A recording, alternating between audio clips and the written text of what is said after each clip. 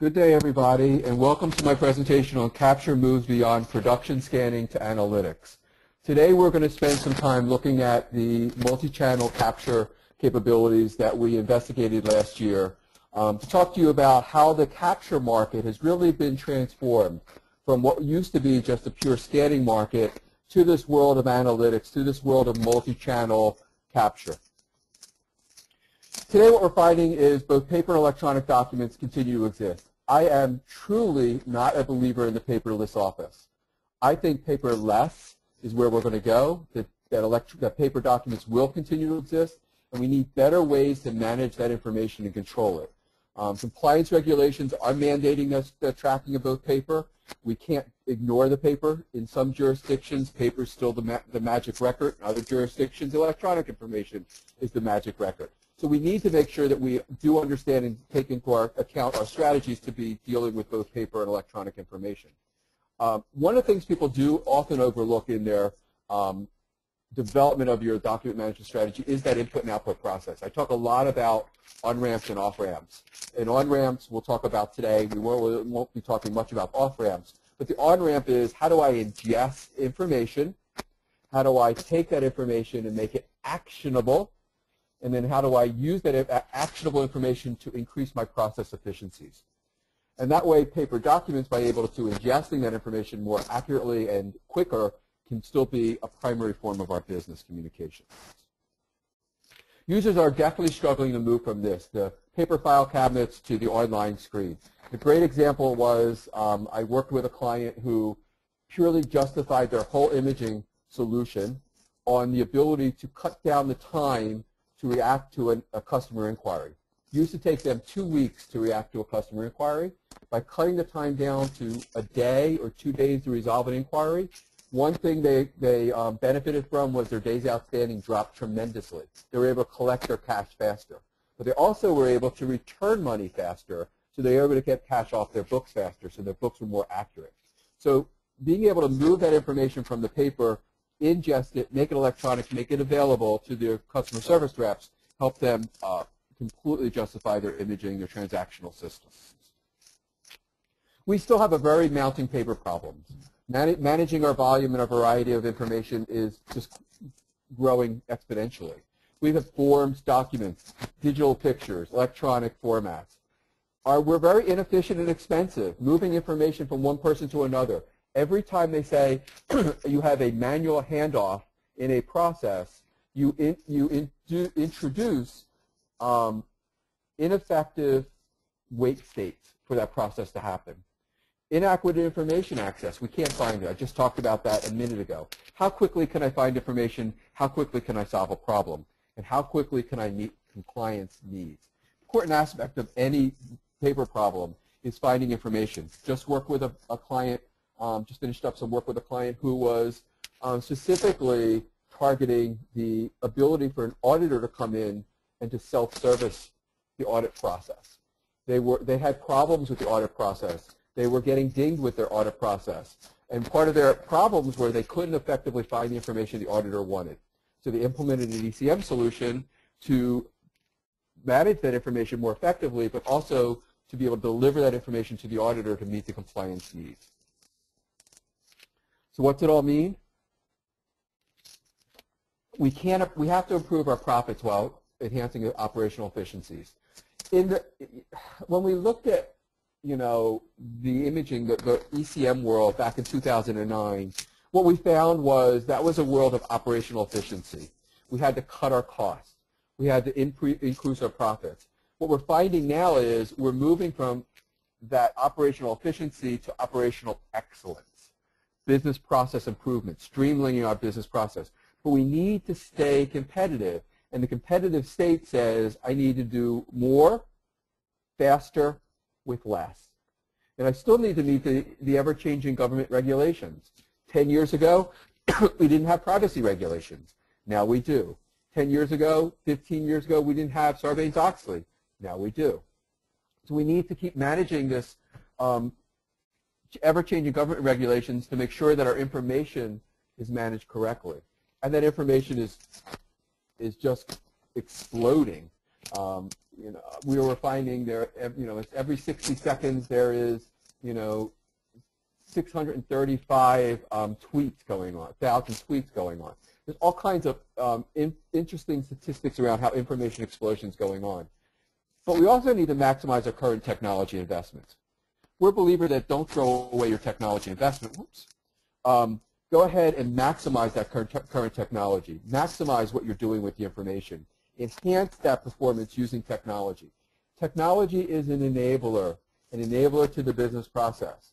Do not see technology as a driver, but look at it as that um, key factor to enable that business process better. So what is your ECM strategy? Interesting enough, what we found was 37%, um, actually, let's look at it this way. 75, 75% of the people that we talked to standardized on multiple ECM solutions, and some of them were still looking for the ECM suite, though we don't believe that that trend will continue. And we're going to do another um, survey back in the April time, April May timeframe. So somewhere in the summertime, we'll have more updated results here. But we do believe that ECM suites are moving away. That people are looking for application-specific, solution-specific capabilities. But we also see SharePoint as having a firm foothold in that capabilities. Again, we see three or more, you know, two or more, 63% are two or more ECM solutions with 42% being three or more. Firms are going and organizations are going to solving the business problem. They're not going to say, I want that ECM suite to solve all my needs. They're saying, I want an invoice processing and an HR onboarding process and a learning process and a contract management process. And it may all come from the common vendor if that vendor meets it, or it may come from a couple vendors. But they, but they know that they're going to want to solve the business's needs, not IT's preference anymore. And we talked about cost problems declining just a minute ago. We went from a operationally efficient cost-cutting world to a world that was more concerned about adoption, use, and efficiencies. And that's really what this slide says. You know, we see file shares and SharePoint proliferation being an inefficient. 46% saying that's what's happening. That's really an inefficiency in our marketplace. We see the adoption of ECM being a problem. That's an inefficiency in our marketplace. If we were better at targeting solutions with specific ECM capabilities, we would see some of these things start to come down. Better management, better targeting of information. And that brings us to our content-centric technology wheel. This is what we define ECM to be. Everybody has their own definition. Everybody, you know, we've seen AIM definitions over the years. We've seen all kinds of definition over the years. Um, but this is our definition. And what, we, what we're saying in this definition is there are two types of solutions, content-centric technology or solution basis, business solutions and transactional solutions. Business solutions being those solutions that are highly dynamic in authoring, that are highly collaborative, that are typically electronically started and continued, um, dynamic, many versions, um, updated frequently. Transactional capabilities are um, typically static in nature in lots of cases, but their target is operational usage. The, the, what I try to say is making data actionable is what a transactional system is. Whether I'm ingesting information and I'm, I'm bringing it into the system, I'm extracting it, I'm interpreting it, I'm making it actionable, and I'm feeding it to an operational system for processing, or I'm taking data out of an operational system and embedding it into a statement, you know, for customer communications management, um, or a letter for personalization, you know, that's, that's taking data, making it actionable. That's embedding it in the outbound, the, out, the off-ramp, where I'm taking that information and I'm sending it out to a client. Around the middle, though, is that foundational capabilities. And I like to, you know, I termed it foundational um, a couple of years ago, and my view of this was this is the, the foundation of the house, the foundation of the building you're, you're putting up. So are you building a transactional, you know, building? You're, you're building a building to process inbound information to make it, you know, to strip the data and feed it to an op operational system. Well, you still need the foundation. You still need library services and identity management and security and records management. E-discovery is still going to be an optimal thing and taxonomies. You need the foundation upon which to build the solution. And the foundational capability, and what we've done is pulled a lot of pieces in, common pieces in, are those common pieces that will be utilized by either business or transactional capabilities to build the solution that you need. When you look at content, what's really important to look at content is to look at things like the value of the content. Um, one of the hot buttons that's come up in the marketplace today is this whole notion of file sharing and sync sharing.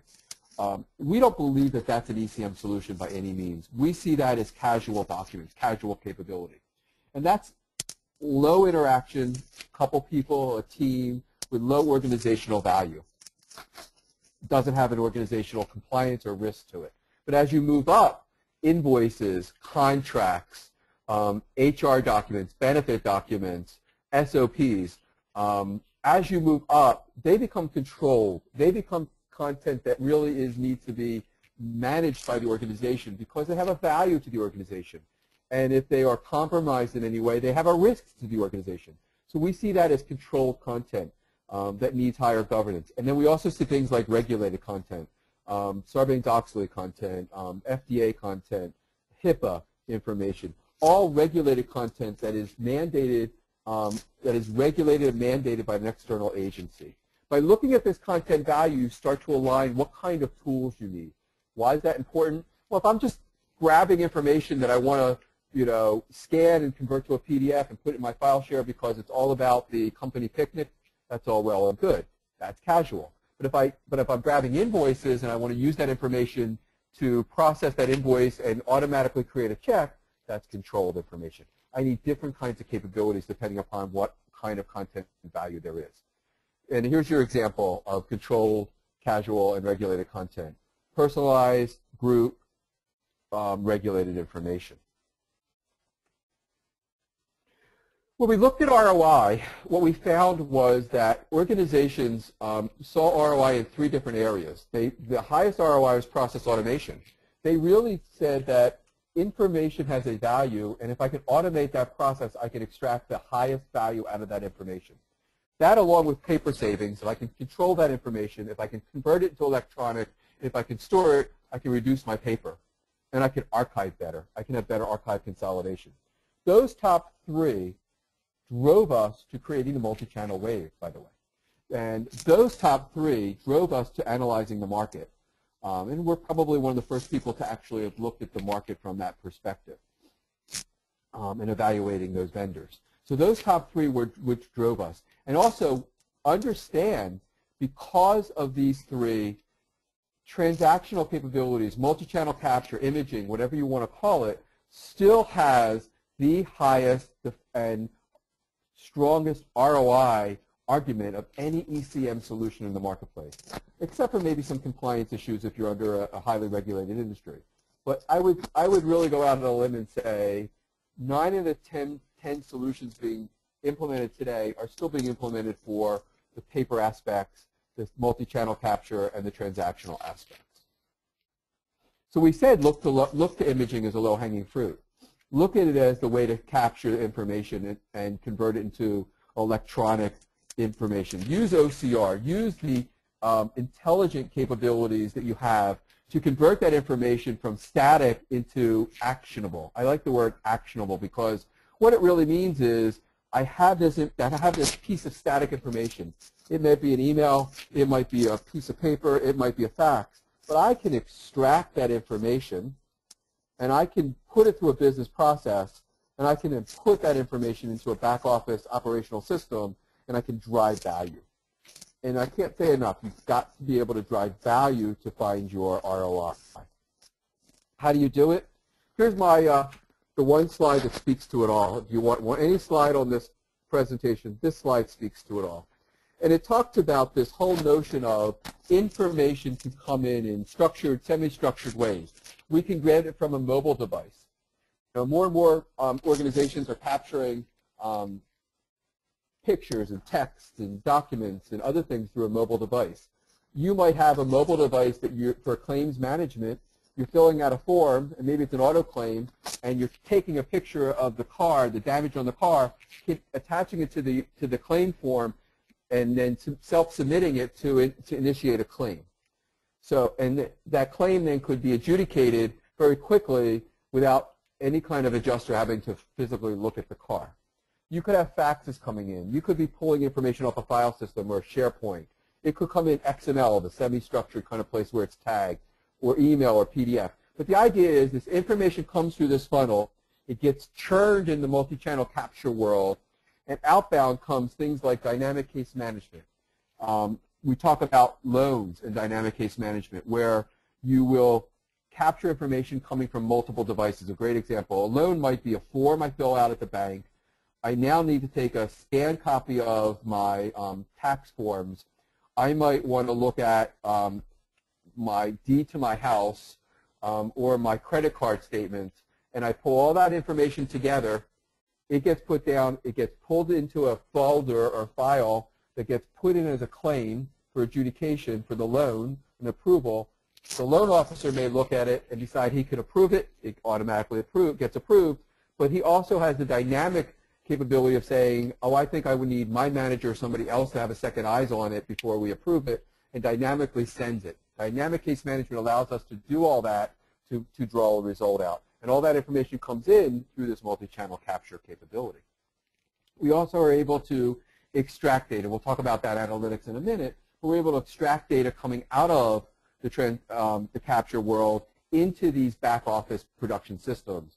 And what we're trying to get through is straight through processing, alleviate the use of people touching information, getting it um, dealt with faster. And ultimately, obviously, all this information goes into some level of a repository so I can classify it. I have it available for discovery. And I also have it available for retrieval to answer questions that may be you know, that crop up about that information. So faster access, more reliability, and I'm covering it for a legal perspective. So how does that all work? So you notice that the left-hand side of the slide is very similar to the top of the previous slide. It's the multi-channels. It's all the different capabilities coming in. And we use the analytics world to decipher that information, to understand what's on that page. So a great example is the analytics comes in. We have multiple OCR engines to read it. So we translate it from a static piece of information to an electronic piece of information. We might have contextual capability to look at that information and say, oh, I see the word invoice. Now I might want to look for the uh, number right after that so I know what the invoice number is. I might see the word product, and I look for a product number after that. But by looking at it, that context, that information, I can now use that information for processing. And one of the interesting aspects is I might take that piece of information and go against a master data management or a data warehouse to supplement that. So I no longer have to do extensive data entry in order for me to enter all that information in. I can do auto extracting using a key piece of information against an external database. Great example is right in Lexmark. I was working with Lexmark several years ago, and we built their capture system and their content management system. And we would take one piece of information like a product um, ID or a product family we'd go against their, their master data management and fill the rest of the information in. So now we automatically fill 20 or 30 attributes in that could be used for processing downstream by only having one reference point. And then that information could be fed into a back office operational system. So having an invoice ID or a PO number might, be allow, might allow me then to feed the financial system with all of the details behind that invoice. So what we strive to get to in all of this is operational efficiencies, less human interactions, and faster processing time. So we use the content analytics and the intelligence to extract information, make it actionable, and feed the operational systems to make it efficient. How does these applications have expanded? Well, what we used to see was most of the work was always done in the production area we, we sent it out to a, a, scanning bureau, or we scanned internally in our digital mail room. We might have done heads-up data entry, entering our information. Um, we might have extracted it. What now we're finding is we're getting more application-specific capabilities, forms processing. Forms processing might be on your tablet, on your laptop, on your smart device, your smart your smartphone. Um, invoice processing, which we just talked about, extracting information from God knows what, how many different kinds of invoices, um, understanding what that is and processing it. Claims processing, check processing. Several banks have actually gone to the ability to take a picture of the check, using a picture of the check to actually create a deposit slip and deposit that, that check without ever even seeing the piece of paper.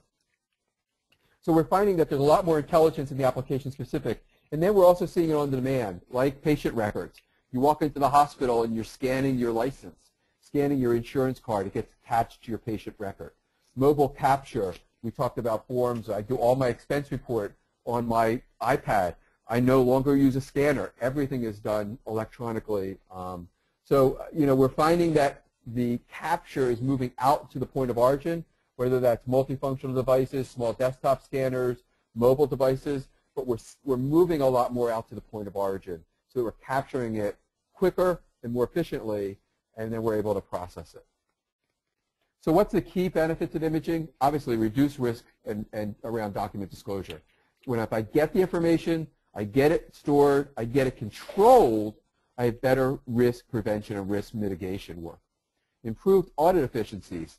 Again, um, I've had a client um, go ahead and I, I, think I said it. I had a client go ahead and, and bring in um, a system just for audit capability so they can sit their auditors down and get faster retrieval of their information and better self-service. Reduces paper costs. You know, reduces the storage. It still is a cost. I don't care how cheap it gets. It still is a cost, so you can reduce your paper costs while increasing your employee efficiencies. Um, you can reduce headcount. I tend not to see headcount getting reduced. I, I tend to see instead of headcount get reduced, I see redeployment of headcount, redeployment of employees to more knowledgeable workers, knowledgeable capabilities, skilled workers. So we see them being, you know, instead of just keying entry of information, having more higher efficiency, higher productivity jobs. We do see the mobile age coming. We do see it happening. There's no question about it. With the surge of mobile phones and cameras on phones, um, we see a new, new era of capture. You know, my daughter was just telling me the other day we're going to our um, graduation, uh, college graduation, and she warned me not to bring my iPad because what the latest craze is is people bring their iPads and they hold their iPads up so they can take pictures with their iPads during the graduations. And I was warned I can't, I'm not allowed to do that. But we're finding less and less cameras being used and more and more of the smart devices. Um, many industries have, have realized mobile capture, especially in delivery services. You know, the um, the FedExes of the world, the DHLs, they come in and they do a quick capture. The other area of mobile I thought was really interesting was capture, was things like credit card capture. You know, I, I was in a cab the other day and uh, the cab driver swiped my card on his iPhone and emailed me my receipt. So there's all kinds of advantages of moving to the mobile capture world through the web. Mobile capture across industries, just to give everybody a quick example. Um, obviously, we talked about insurance and policies, manufacturing for, for capturing uninstrumented process data, walking out to the field, reading a piece of data, connecting it to a maintenance record. Um, we see that a lot with um, utility companies where they go out and they'll use a, a, mobile device to scan a piece of data. Maybe it's a barcode. It goes back out to the content management solution and the map, the, the, the GIS solution coordinates and brings up the documentation of that device based upon where they are on the map. Um, government and public safety, incident reporting, victim statements, healthcare we talked about, emergency responses, um, clinical data, and education being things like you know, teacher learning. Um, we're capturing a lot more for um, even in the admissions process and the administrative processes, we're seeing a lot more capture. We see a lot of capture in the multi-channel world, interesting enough, we see this huge movement from um, a world where we were taking paper in and processing admission applications via paper to a world where we're no longer, we take the paper in, we can scan it if people don't do electronic submissions, admission forms, and we can take that paper and we either key it, do a heads-up keying, data entry, or we can do recognition on that information. And what we're finding is uh, we're able to respond to our students quicker. In one university study that I worked on, one university, they took three to four weeks to respond to a, a um, student's request on status of their application, their admission application. After we implemented their imaging solution, they took three to four days to respond. Huge capabilities. That customer satisfaction, you know, increases the student enrollment, you know, the student acceptance capabilities. So let me end with a, um, a capture um, example. Moen, and people that know Moen um, really are the faucet people, the, uh, you know, the, the plumbing people. And Moen installed three years ago um, a system, a capture system for their B2B order fulfillment. 40, 60% of their orders came in via fax and 40% came EDI. So for their wholesalers, though, 85% of their information still was coming in via fax. So they were taking the faxes and they were manually entering them into their financial systems. Very mistaken laden, very manually intensive. So they were really um, struggling with that ability to automate that process. When they implemented the software, the capabilities to read the customer faxes, they were actually able to do heads-up data entry. They didn't do the OCR, and that would be the next step to them, but they did heads-up data entry, meaning that the information was brought in, the fax was converted to electronic image, we could do heads-up data entry, we could do validation of the information immediately against the, against the fax as we're entering it into the system, and we can streamline that process. We get the data into SAP and we can create the order much quicker. Delivers the POs to the work order, um, to, the, to the users, and, the, and now the managers had the ability to, to have a better visibility into each of their employees' queues. So they knew who was working at what efficiencies, and were we overloading? Did we divide the work queue up better, better um, to deal with? And then what on the back end, we could find that information easier for the users. So that information was electronically available, so when the customer service rep got the, the call, he didn't have to go look up the paper faxes anymore. Um, he could look at the electronic information. So they, they streamlined that process from both the input and the customer service capabilities to get their ROI. With that, let's talk about you know, where we see the, the world going. So paper will continue to be a critical informational source. I do not see paper going away. I am not a believer that we will ever be a paperless office. Paperless, absolutely. Paperless, forget it. But your ECM strategy has to take paper states into account. Most people, very interesting enough, do create their ECM strategies. They look at their electronic information and they forget about the paper. They forget about the look at all the channels that their information are coming in from. So you need to make sure you get your on-ramps correct and where your channels are coming from. And you keep your and make sure you look at across the enterprise at all the opportunities you have to leverage that capability. Start small. That's okay to do heads-up data entry, but quickly look at OCR and BPM. Um, OCR being optical character recognition, BPM being business process management, um, and your enterprise content management to streamline your overall processes and capabilities.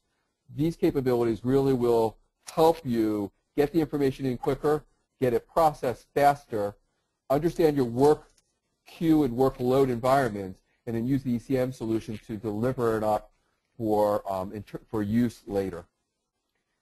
Look at decentralized capture. I mean, you're going to, people are going to look at centralized capture. The capture bureaus are still very, um, you know, doing very well, very productive, but look at some decentralized capture. We're seeing more and more organizations pushing capture out to the point of origin as much as possible. and then look, as you do that, mobile capture becomes that next frontier for your information worker. Understand that they're going to want that mobile device to be enabled so they can capture it. Just like I capture my expense report forms. That, it saved me tons of time in walking up to my scanner and scanning it. I can tell you that capturing it on my um, iPad is, is much more efficient than, than my scanning process.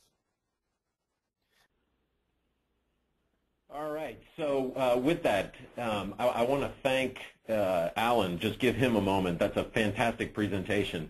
Uh, for everybody, my name is Charlie Kaplan. I'm part of the marketing organization at Perceptive Software, and so what we're going to do here is uh, is uh, just take a moment. We'll take questions here in just a second. So um, feel free uh, to type into your Q&A pane in your GoToWebinar console. If you've got a question for Alan uh, while you know while the information is fresh, go ahead and type that into the pane. And uh, well, like I said, after I give him a chance here to to uh, rest up for a moment, we'll uh, we'll go back and try and take some questions before we end the session today. In the meantime, um, I just want to give you a little information about you know Perceptive software for those of you who uh, may be familiar with the company or not so familiar with the company.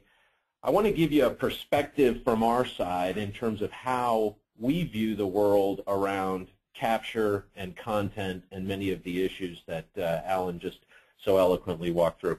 When we speak with customers and prospects, we typically see or we hear sort of three common themes, right? companies in different industries are generally concerned with financial performance. So in other words, how do we go from where we are today uh, to where we want to be tomorrow? How do we, you know, appropriately manage expenses while, you know, growing our top line? Second, how do we manage risk, right? Particularly unseen risk in the organization. And then finally, how do we allow for future flexibility, understanding that, you know, economic climates are uh, are uh, constantly in flux. You know, there's, uh, you know, we need, you know, flexibility in in everything that we do. And so to accomplish this, right, organizations have invested in core systems. These are the systems that we use day in and day out to manage the most critical aspects of the business. And so with the investments there, we've typically, you know, made investments in people who have designed, built, uh, maintained these systems, these core systems, content systems, uh, transactional systems for the organization.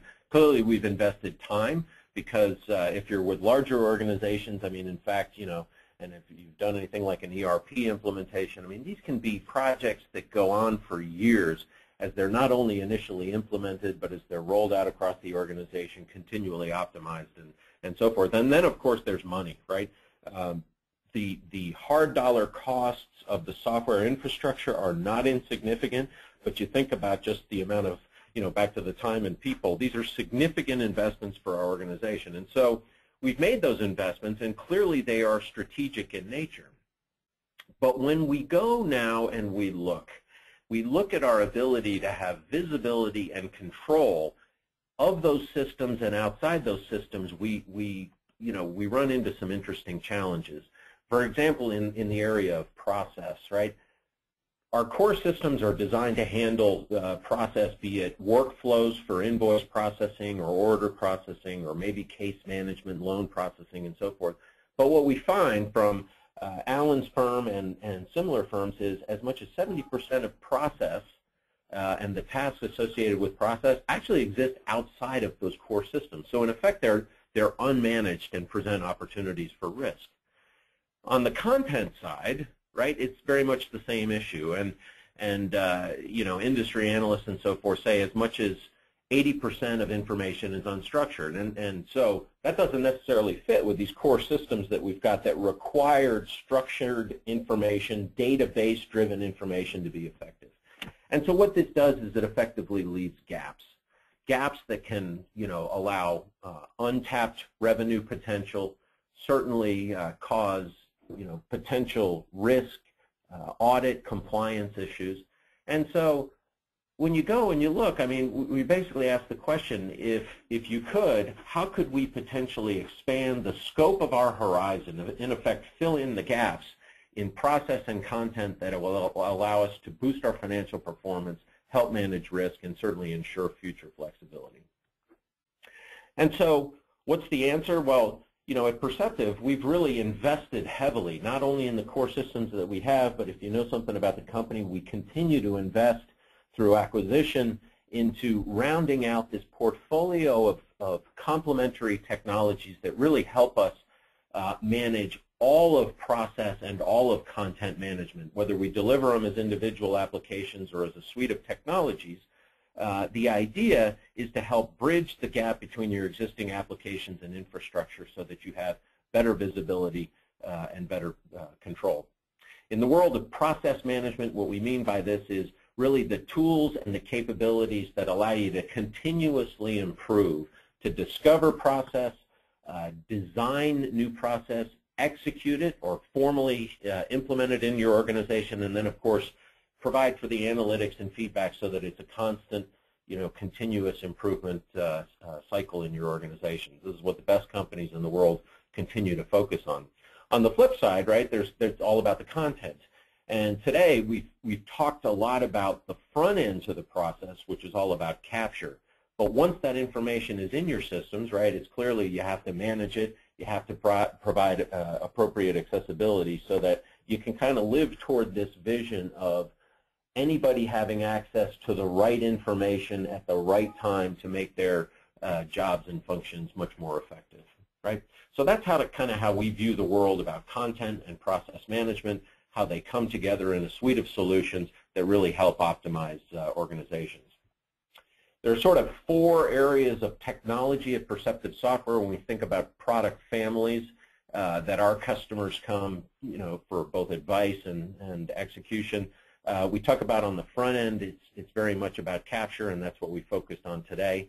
But capture is a critical front end for uh, content management, cer certainly process design, uh, implementation and optimization, and then, of course, on the back end, right, it's really about being able to get access to the information you need, the specific information you need to make your job more effective.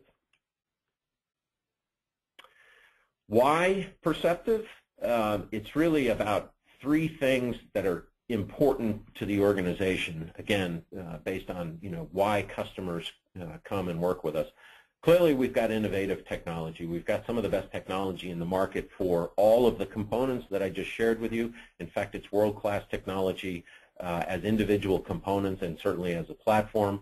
Uh, customers come to work for us not only for the technology itself, but really for the broader industry experience that we have. And this industry experience is both with our people, the people that can help design the solutions that you need to run your business. It's also with the expertise that we've built into the solutions. So as a result of having done uh, the work that we've done over many, many years and, and many, many customer implementations, we're actually take, able to take that information uh, and, and wrap it into many of our solutions so that out of the box they can deliver uh, very, very good results you know, across different industries, vertical industries and applications. And then finally, it's about the solutions that we bring to market, right? Um, uh, customers don't come to us, you know, for point solutions, but rather for things that can help them literally transform their businesses. And we're proud to say that we work with some of the largest and best known companies in the world. As you look across this, they range from uh, banking and financial services to manufacturing companies to transportation, logistics, energy, oil, and gas. And this is just sort of a small sample shot. Um, the thing I think I'm I'm always most struck by uh, in these customers, many of whom I've worked with personally over the years, uh, these companies have the ability to select any technology in the world uh, for, you know, for processing, whether it's content or, or process.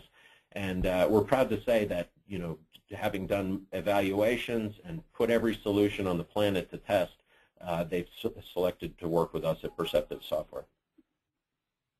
Sorry about that. More specifically, let me give you a couple of examples.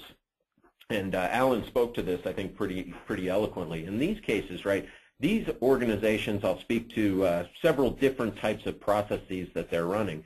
But um, these are all, you know, most of these companies you know uh, by their brands and the products or services that they deliver. But the thing that I'd offer to you is these companies, many, if not all of the companies on this list, have actually been awarded industry recognition for how they've literally transformed back office operations. So for example, uh, Disney, who is pretty well known around the world, uh, implemented uh, accounts payable automation using the core capture solution uh, from Perceptive Software.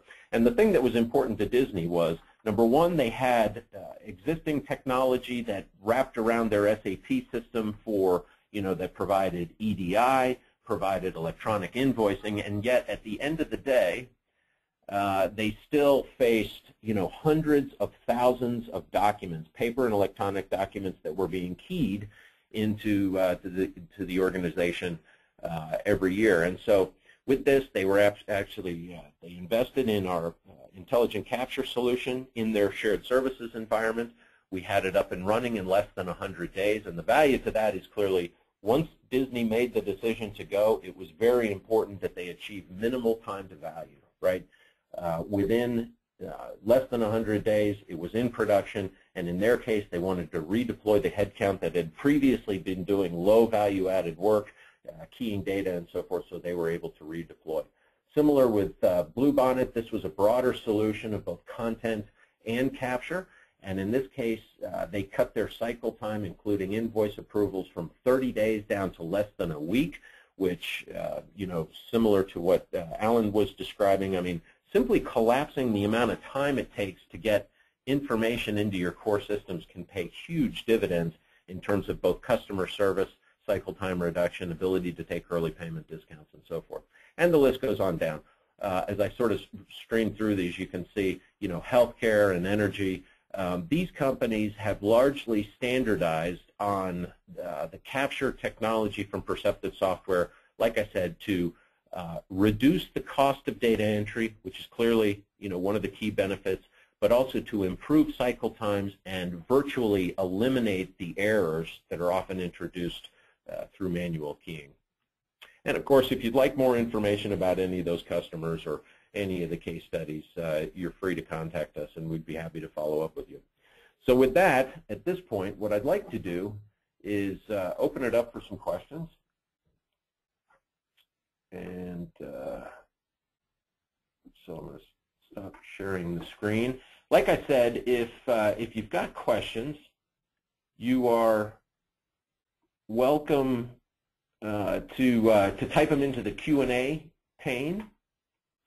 And so uh, as those are coming in, I'll uh, let me go ahead. I do have a couple of questions here that have started to come in. So uh, Alan, is it okay if I throw a couple of questions over to you? I'm ready to go. Yeah, very good. All right. So um, let me ask you this. This is this is an interesting question that I was just asked yesterday, in fact, in a discussion I was having here, is do you have any sense of how much inbound content has shifted to electronic format versus traditional paper copy? So that's an interesting question. You know, we're still seeing a lot of paper, um, but more and more what we're finding is um, information is coming in through emails and PDF attachments. They're coming in through electronic forms on the web. Um, we're getting, you know, so a lot more of that traditional paper-based information is coming in electronically, but it also is coming in in a electronic form of a piece of paper.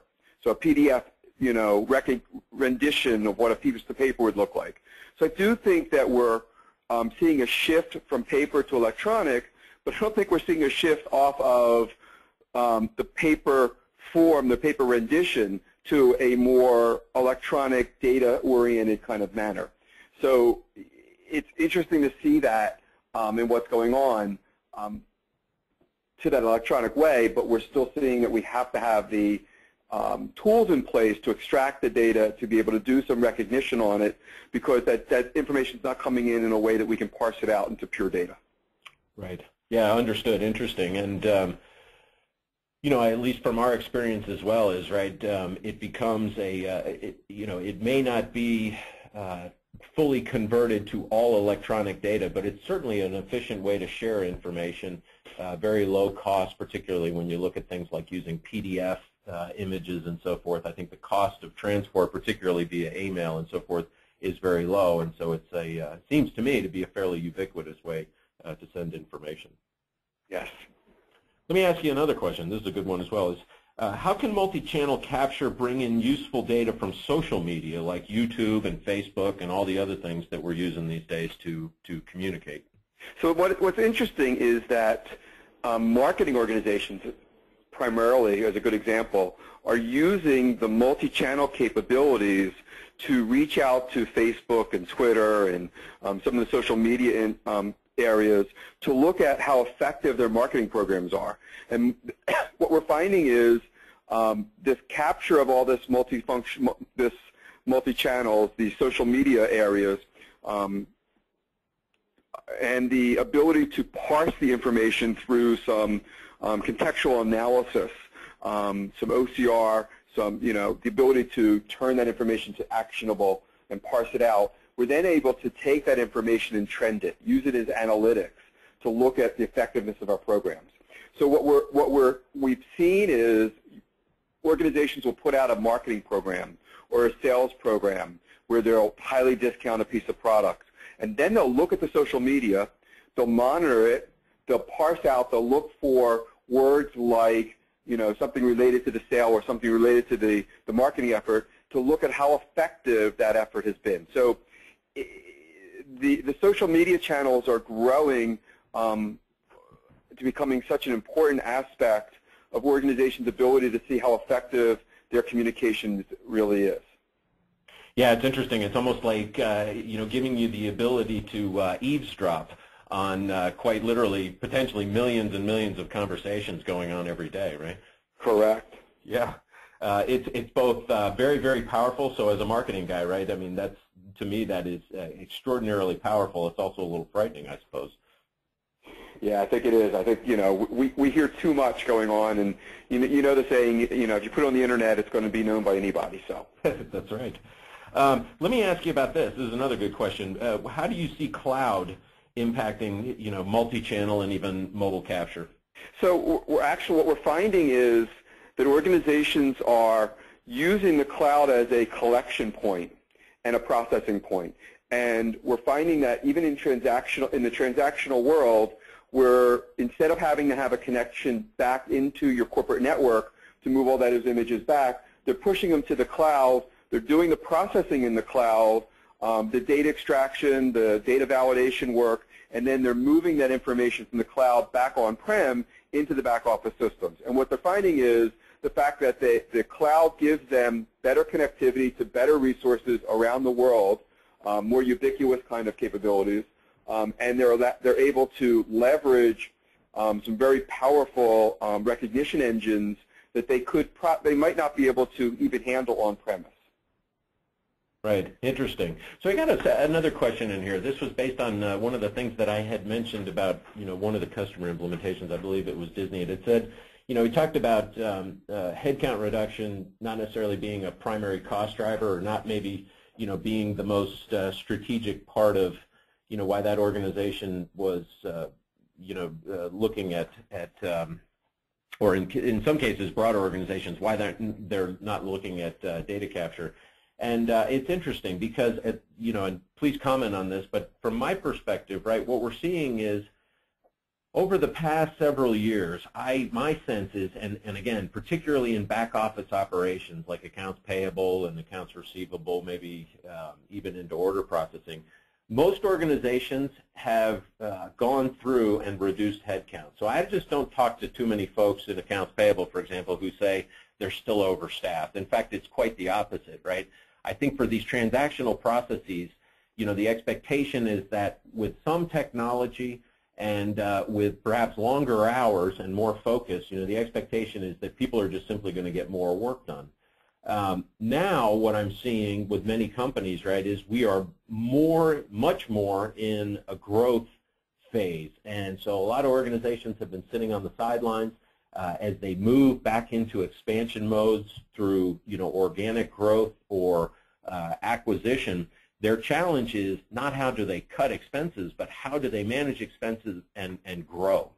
And I think that's where automation is filling an important role is because right? It's it's hard to recruit, hire, maintain, you know, train and maintain people, and yet I think when you find technology that can help you do that, it really starts to alleviate a lot of that pressure. I mean, would you agree? I definitely agree with you, Charlie. I think that what we're finding is um, our last couple surveys have shown that we've moved from a um, operational efficiency, cost-cutting measures to more of a productivity um, expansion mode, and I agree 100% with that. And what with that comes um, the need to do, to need to be more efficient, to need to be more customer centric, to need to be able to respond to your customer faster. And um, we don't want, we're not in the, we're not in the re resource cutting mode as we're in the process of becoming more customer centric and what do we do to become more efficient at what we do. Um, and that efficiency is not about cutting resources, but it's, it's about becoming agile and um, better at, at dealing with information. Yeah, Yeah, no, I agree. That's interesting. Uh, it's actually really exciting too because I think as a lot of these transactional processes, the things that you know we, we would sort of seem routine or repetitive, um, you know, broad technology is beginning to take on more of those. And what it really opens up, and again, what I see from customers is some really exciting ways that they're using the data, right? Uh, using the analytics, really starting to understand more about how the business runs rather than being solely focused on kind of the day-to-day -day grind of, of processing. And it's uh, some tremendous innovation in, in analytics. We hear a lot about big data. I'm not always sure that people know exactly what that means, but um, when you see it put to use and driving demonstrable business value, I think it's really impressive. Let me um, let me ask you another question here. So this is a this is a good one. Um, where would you say is the best point to start when you're building or reconfiguring a business process to take advantage of multi-channel capture? Do you really start that at the beginning? Do you start it with an end user? What is your recommendation? So my, my biggest recommendation is to um, flow out your business process, look at your, your disconnects, look at your places that you can become more efficient for passing information, look at, look at places that turning information, um, static, unstructured information into actionable information can increase the process. That could be anywhere. That could be at the capture. That could be um, encouraging your partners to become more forms-based and, and um, you know, make, making like electronic purchase orders or invoicing processing online. Um, a subcontractor for a construction group could submit all of their invoices electronically or right into the system online. Look at the business process. Map your process out. Look at the, the steps in that process that you can become more effective by turning that unstructured information into the actionable information. So there's no, there's no clear answer. You could do it at point of origin, like a FedEx or expense reporting, other things like that, where you push out the capture right to the point of origin. And you could also streamline that process downstream a little bit when you're turning that information into more actionable capabilities. Right. Yeah, I would agree. The the, the thing I would add to is, um, which seems, you know, applicable and uh, and what a lot of organizations do is right. You also determine the value of that information along those stages, and uh, it becomes something where I think, I don't know that, um, you know, automation, if you'll call it, full automation is really uh, uh, so much of a destination as it is sort of a, a continuous process, right? And so I think you take on the higher value, you know, added uh, functions earlier, and as you begin to make those routine or standardized or automated and efficient, I think it really allows you to then kind of move to the next one in sequence. So it's kind of a, of a constant and consistent process, you know, uh, and performance, you know, efficiency automation journey, if you will. Um, if you were to pick out one thing to focus on when you started a multi-channel capture strategy, what, what would that be? What information I can use? where is my most effective piece of information that I can make actionable? Where do I spend a lot of time in a manual productive mode? So is it in invoice processing? Is it in expense processing? Is it in claims processing? So look at the process that could benefit the most from an automated perspective. Um, and then once you've determined the process that you might be able to, that benefits the most, then look at the steps in the process that you can actually implement some multi-channel capture to um, streamline those steps. But it all comes back to use cases. It's not a technology issue. Go back to the use case, look at the business process, look at the, op, the, you know, the opportunities you have in that business process, and then, then apply the technologies to the different steps of the process. Right. You had made a comment, right, which I thought was, was pretty compelling that you see uh, transactional capture and the ROI that's associated as being an important part of you know the broad content management space today. It, it is the low-hanging fruit. I can't I can't stress it more. You know, you have better opportunity to define a real ROI with transactional capabilities than you do in any other kind of content management. Yeah, so you definitely can streamline. You can put cost to it. You can, you know, um, justify it. It's just a very, very straightforward um, area. So uh, just one or two more quick questions for you. Um, what are employees doing with all the mobile devices we keep hearing about? I mean, you gave some good examples, but it seems like there must be more going on to justify these these massive growth rates. No, so they're using it for email. They're using it for um, for applications. So a lot of sales organizations, Salesforce kind of capabilities are pushing out um, information to their sales force via mobile devices, presentations. Um, you know, pharma pharmaceutical representatives use it to do presentations and information sharing for their doctors. Um, you know, from a capture perspective, mostly it's being used um, to capture that paper at the point of origin. So again, it's the, it's the logistics world. It's um, the employee being um, empowered to be able to be more flexible in capturing their information. It might be an invoice capture where you're capturing an invoice instead of going to a central office it might come to a remote office and you don't have to ship it off. You just capture it um, electronically. So I think that we're finding the mobile devices um, have both a collaborative, interactive presentation style, but also from the multi-channel perspective, it's how do I get information quicker into the system for processing, and how, how can I use that mobile device, because we're a mobile workforce and we don't have offices all the time, we need to move that capture and that capability that we normally would have done in an office with a multifunctional or scanner out to where the employee is. Right. That's interesting. Um, this, it, I think the last question I have time for is, uh, you know, we uh, we work with organizations, right, that are in maybe some of the more developing regions of the world, right? So um, you know, still in many cases, be it in government agencies or maybe even in, you know, private sectors, there's still a heavy reliance on paper. And in some sense, there's a reluctance to give the paper up. Uh, what kind of advice do you offer for both vendors and uh, the companies or organizations themselves to start to, you know, move towards more electronic processing? So, so here's my here's my recommendation. You're not going to give the paper up, unfortunately. What I'm going to tell you is